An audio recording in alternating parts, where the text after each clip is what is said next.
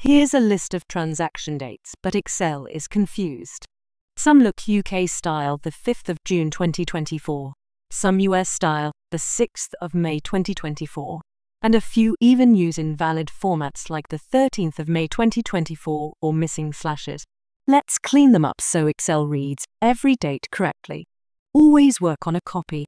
I'll duplicate the column so the left side shows the original data, and the right side will be our cleaned version.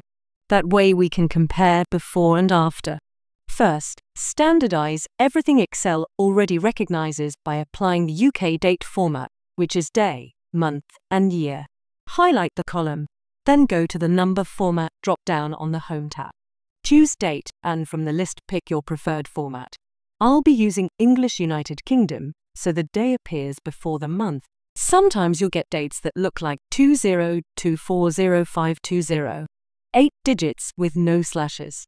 Excel doesn't recognize that as a real date. It's actually just text or a number, so formatting it as a date won't work. We'll use Excel's date function to rebuild it correctly.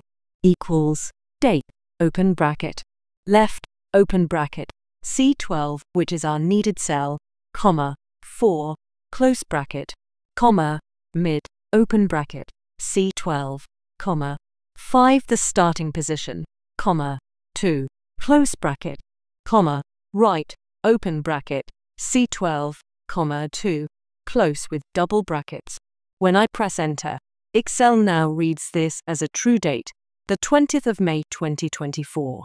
Now, let's fix text-based US or reverse dates. We can identify the US format using the country column filter on USA only, and we'll run text to columns go to Data Text to Columns. Choose Delimited, then Next, and again Next. In Column Data format, pick Date and expand the drop-down and select MDY. This will update the US style date. Once we clear the filter, we can see that this has also unlocked US styled text cell like the 13th of May 2024. Et voila, mixed formats fixed, numeric dates converted, and everything consistent in UK style like, and subscribe.